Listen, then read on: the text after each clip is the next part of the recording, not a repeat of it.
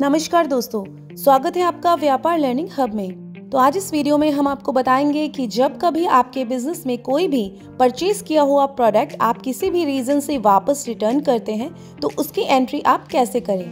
उसके लिए आपको बनाना होता है डेबिट नोट आइए देखते हैं कैसे। इसके लिए आप सबसे पहले व्यापार ओपन करें। अब व्यापार में आपको डेबिट नोट की एंट्री के दो ऑप्शन मिलते हैं। पहला, कि आप यहाँ एड मोर बटन पर क्लिक करें। यहाँ आपको मिलेगा परचेज रिटर्न यानी कि डेबिट नोट उस पर क्लिक कर दें। या फिर आप चाहें तो शॉर्टकट की ऑल्ट प्लस एल की का इस्तेमाल करके भी डेबिट नोट फॉर्म ओपन कर सकते हैं। तो आपको इस तरह से डेबिट नोट की विंडो दिखाई देगी। अब यहाँ आप कस्टमर का नाम, उनकी डिटेल्स साथ ही इनवॉइस नंबर यानी कि जब आपने सामान परचेज किया था तो जो इनवॉइस बनाया था उसका नंबर ताकि आपका ये रिटर्न उस इनवॉइस के अगेंस्ट एडजस्ट हो जाए। और आप फ्यूचर में इसे ट्रैक भी कर पाए। उसके बाद प्रोडक्ट्स जो रिटर्न हो रहे हैं, उनकी डिटेल्स रिसीव्ड अमाउंट में अमाउंट अगर आप अपने वेंडर से पैसा रिटर्न ले रहे हैं। अगर नहीं तो उसे खाली छोड़ दें और फिर इसे सेव कर देंगे। लेकिन इसे बनाने में आपका काफ़ी समय जाता है, इसलिए व्यापार आपको देता है एक सिंपल और आसान तरीका। वो आप तब इस्तेमाल कर सकते हैं जब आप डेबिट नोट को उसके पर्टिकुलर परचेज इनवॉइस के साथ ही एडजस्ट करना चाहते हैं।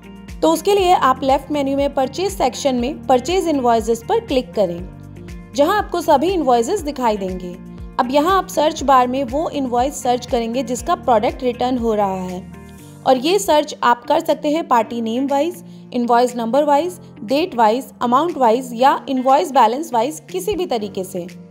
एग्ज़ाम्पल के लिए हम सर्च कर रहे हैं विकी इलेक्ट्रॉनिक्स तो हमें इनके दो इन्वॉइसेस दिख रहे हैं और हमें इसमें से पाँच तारीख वाले इन्वॉइस के अगेंस्ट डेबिट नोट बनाना है।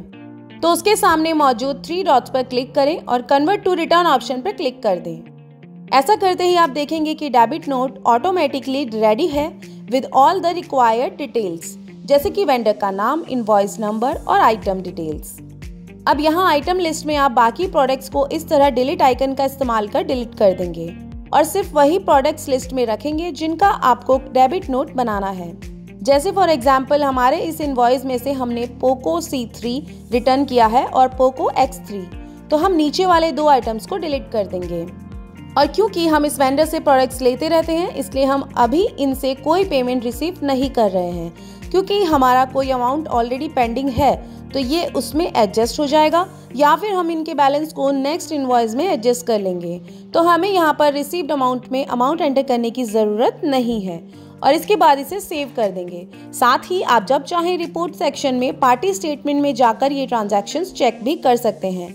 तो इस तरह बहुत ही आसान तरीके से आप डेबिट नोट यानी कि परचेज रिटर्न की एंट्री कर सकते हैं। तो अभी व्यापार डाउनलोड करें और पूरा बिज़नेस मैनेज करें with Vyapar app download link आपको डिस्क्रिप्शन बॉक्स में मिल जाएगा. हमें आशा है कि आपको ये वीडियो पसंद आया होगा तो वीडियो को लाइक करें और अपने व्यापारी दोस्तों के साथ इसे शेयर भी करें. ऐसे ही अन्य ट्यूटोरियल वीडियोस को देखने के लिए हमारे यूट्यूब चैनल को अभी सब्सक्राइब करें और सबसे पहले हमारे वीडियो देखने के लिए बेल आइकन को दबाना बिल्कुल ना भूलें. अगर आपको व्यापार से रिलेटेड कोई भी जानकारी चाहिए हो तो आप हमें कॉल कर सकते हैं या व्हाट्सएप भी कर सकते हैं. हमें संपर्क करने की जानकारी स्क्रीन पर मौजूद है। व्यापार इस्तेमाल करने के लिए धन्यवाद। हैप्पी व्यापारिंग।